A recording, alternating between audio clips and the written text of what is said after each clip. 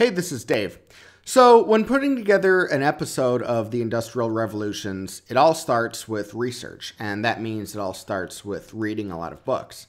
So, uh, I thought today I would walk you through some of the books I've been reading for the first few episodes that uh, went live. So, the first one that I gotta recommend is Guns, Germs, and Steel by Jared Diamond. Uh, you might already know about this book. It's been out for quite a while now, maybe like mm, 25 years or something. And um, uh, it's a great look at sort of the scientific and geographic aspects of, you know, why were people from the Eurasian landmass the ones who went out and conquered the world. Uh, Jared Diamond goes really deep into, you know, leave a, leave aside some of the more superfluous arguments and really focus on the uh, underlying scientific reasons that we might not otherwise think of. So that's a really good book. Another good one is How We Got to Now by Steven Johnson. Uh, I read this um, and used a lot of the information for chapter two, especially stuff about glass. Uh, basically, he goes through six areas that uh, uh, have been innovated a lot over the years uh, to get us to where we are now. Um, Steven Johnson's a good author in terms of uh, writing about ideas and uh, science and um, and historical science, really. And uh, he's got a pretty good podcast as well, so definitely check that out. another, I put this on Instagram already, but it's The Crusades by Thomas Asbridge. And um, it's not super useful for studying the Industrial Revolutions, but it's a very interesting book. I did use a little bit of it. Um, and then uh, I mentioned this in the chapter two bonus episode. It's uh, The Wealth and Poverty of Nations by David Landes.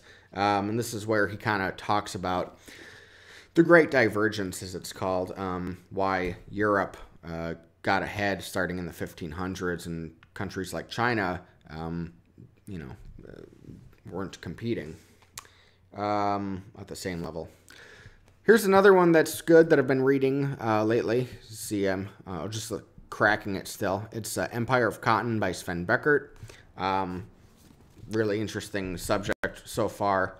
Uh, and then also uh, two books that really are an inspiration for a lot of what I've been writing is Sapiens by Yuval Noah Harari uh, it is the one book I always recommend every single human being reads. It's been translated into like every language, so shouldn't be too hard. And then his follow up, Homo Deus.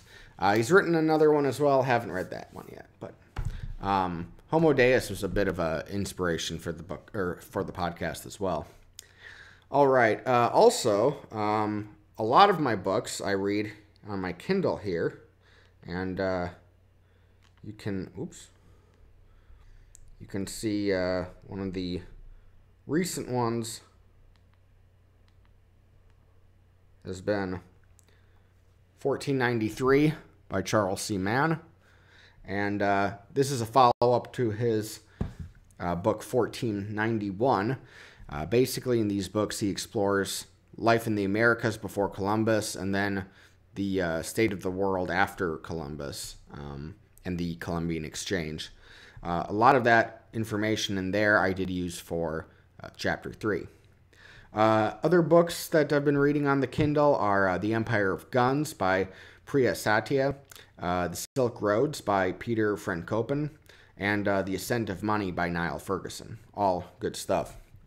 Other books that I am in the process of reading for upcoming episodes Making of the English Working Class by E.P. Thompson. It's sort of a classic. Um, this one here, The uh, Industrial Revolution in World History by Peter Stearns. The Industrial Revolutionaries by Gavin Weightman. And uh, this one about the steam engine by William Rosen, The Most Powerful Idea in the World.